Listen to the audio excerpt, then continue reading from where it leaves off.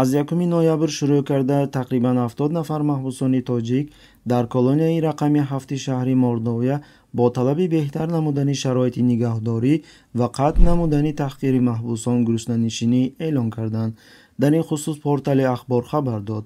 Тӯли панҷ моҳи охир ин аллакай дуюмин маротибаест ки маҳбусон аз он ҷумла шаҳрвандони тоҷикистон дар колонияи мазкур ба чунин навъи эътирозӣ даст мезананд ба гуфтаи наздикони баъзе маҳбусони колонияи рақами ҳафт ки дар деҳаи сосновкаи ноҳияи зубова полиановск ҷойгир аст пас аз омадани сардори нави колония сергушкина режими шадид ворид карда шуд. Бояд қайд намуд ки дар колонияҳои русӣ поймолшавии ҳуқуқҳои мусулмонон ба кори одатӣ табдил ёфтааст. Дар баъзе колонияҳо нисбати мусулмонон фишорҳои рӯҳӣ ва ҷисмонӣ гузаронида мешавад. Дар вақташ адо намудани намоз гирифтани рӯза мамоният эҷод карда маҷбур мекунанд гӯшти хук бихӯранд. Ғайр аз ин аксарияти маҳбусоне ки бо моддаҳои динӣ маҳкум шуданд аз дигар маҳбусон дар алоҳидагӣ нигоҳ дошта мешаванд